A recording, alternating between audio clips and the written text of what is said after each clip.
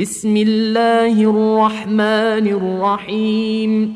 أرأيت الذي يكذب بالدين؟ فذلك الذي يدع اليتيم.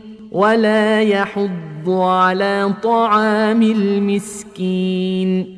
فويل للمصلين الذين هم عن صلاتهم ساهون. الذين هم يراءون ويمنعون الماعون